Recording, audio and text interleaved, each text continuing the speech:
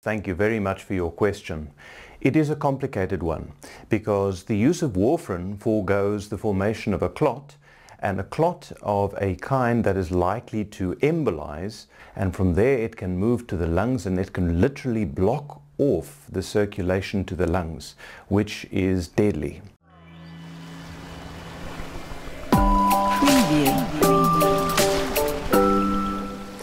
Now, uh, warfarin, what makes it so awkward is that it needs to be controlled very carefully. It's very, very vulnerable to diet because the vitamin K, which is part of how it's formed, is produced by uh, organisms in the gut.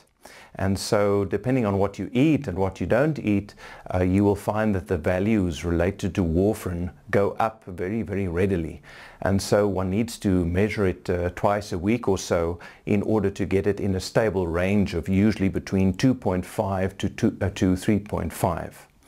Now to answer your question, the first thing would be what the reason was that you were originally put on warfarin. I think that's something that would need to be clarified first.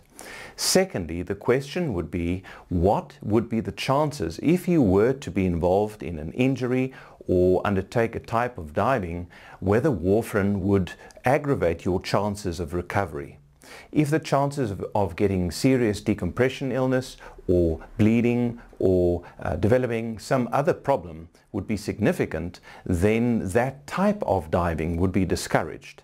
But it is also possible that sometimes divers are able to dive, but they then select a type of diving in which the chances of injury, chances of decompression illness, chances of having complications from warfarin are minimal, and that would then be deemed acceptable. I hope that answers your question.